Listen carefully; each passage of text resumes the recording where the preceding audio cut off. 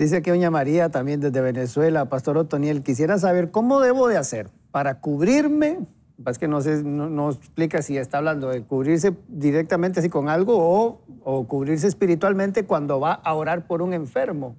Yo creo que en realidad una persona cuando va a hacer cualquier oración, no, bueno, déjame, déjame pensar, déjame cómo lo, lo, tocamos, porque puede ser que la persona tenga miedo a que habla de cubrirse, porque también está la teoría de que si tú no estás bien preparado, cualquier cosa que está en la otra persona se te pega o se te puede pegar. Es como esto que en las iglesias se nos decía que el demonio se le puede meter a cualquiera que no esté orando mientras están sacando un demonio.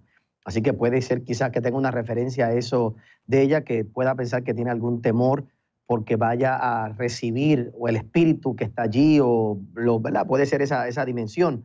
Eh, si es eso, realmente no debería tener ningún temor. Nosotros tenemos que ir en la autoridad de Dios, en la autoridad del nombre de Jesús, en la autoridad de la palabra. Creo que si vamos a hablar de cubrirnos, creo que antes de ir a hacer cualquier oración por cualquier persona, tiene que haber un convencimiento personal y a través del Espíritu Santo y a través del conocimiento y la revelación de la palabra, donde vamos con una seguridad y con una certeza en que Dios responde nuestras oraciones.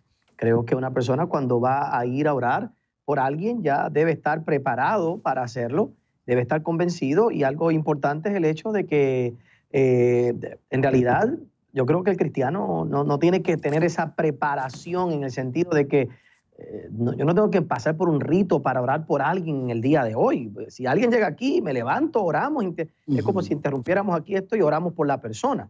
¿Me explico? O sea, que no, no, a veces hay personas que piensan que tienen que pasar por un proceso para prepararse, para que el milagro ocurra, como también pasa a las personas que piensan que, tienen que, prepararse para hablar en otras lenguas, que tiene que haber un ambiente, tiene que haber una música.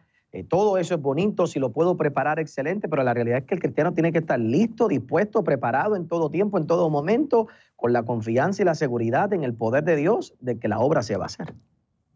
Hola, hoy quiero invitarte a que te suscribas a nuestro canal de YouTube y que puedas estar pendiente de todo el contenido que vamos a estar subiendo. No queremos que te pierdas la oportunidad de estar conectado a la palabra de Dios a través de los mensajes que tenemos aquí en nuestro canal. Así que suscríbete.